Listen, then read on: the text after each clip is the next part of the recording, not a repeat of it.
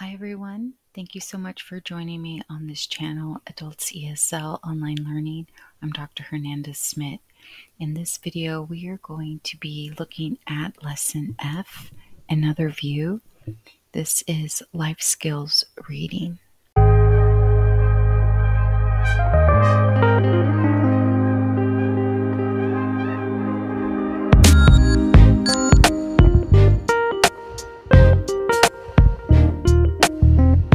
Number one, life skills reading, occupational projections and worker characteristics. Occupation, job openings due to growth and replacements, 2014 through 2024. Percent employment change, 2014 through 2024 typical education needed for entry. It says automotive services tech automotive service technicians and mechanics. 237 job openings. Percent 5.3% employment change. Post secondary technical non degree award is necessary for entry. Dental hygienists. 70 job 70 job openings due to growth and replacements.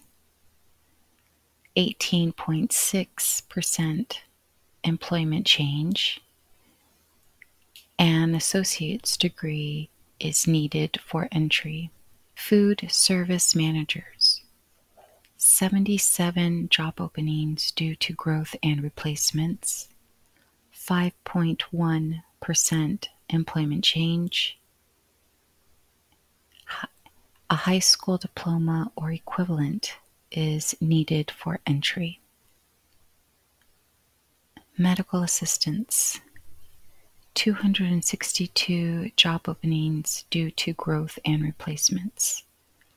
23.5% employment change, a post-secondary a post-secondary technical non-degree is needed for entry.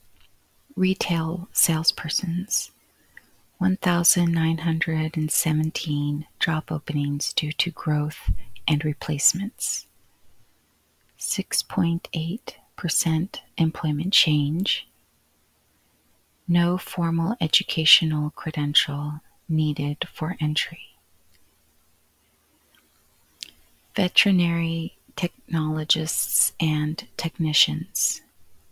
274 job openings due to growth and replacements. 18.7% employment change. An associate's degree is needed for entry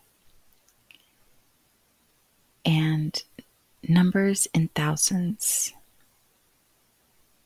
Source BLS.gov.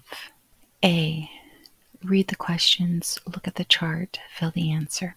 Number one, which statement is not true about the jobs in the chart? A.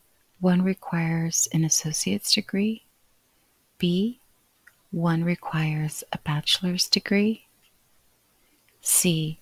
One requires technical training. D. There will be more jobs in 2024 than in 2014. I see a an associate's degree and a one requires a bachelor's degree. I don't see a bachelor. So B is not true.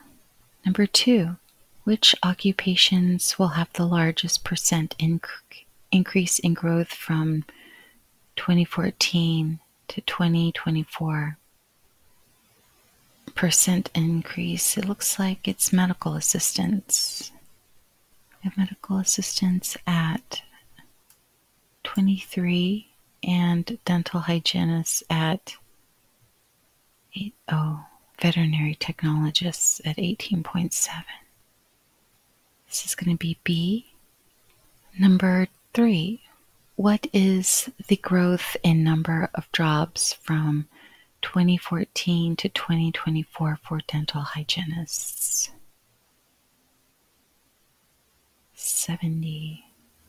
And then numbers in thousands 70,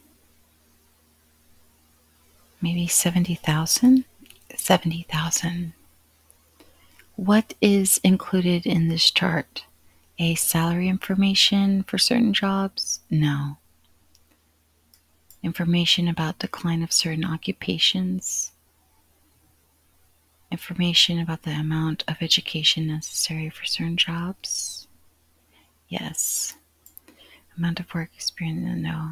Answer is C. Let's look at B. Solve the problem. Give your opinion. Alex has been working. Mm, Alex has been working in a fast food restaurant for over a year.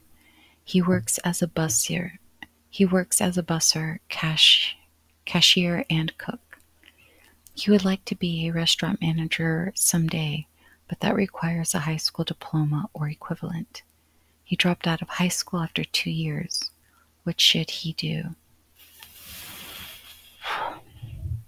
Alex should Alex should uh, get his high school equivalency, um, the, a GED, or he should go back to high school and get his diploma.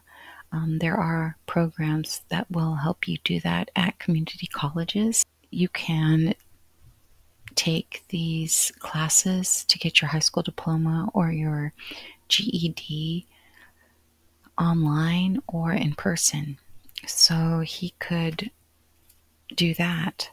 Um, yeah, because he already has the work experience. Now he just needs to get his uh, academic credentials in order. What do you think he should do? Well, thank you so much for listening to this lesson, and I hope it gave you some practice in life skills reading about work. And I will see you in the next video. Thank you so much. Bye bye.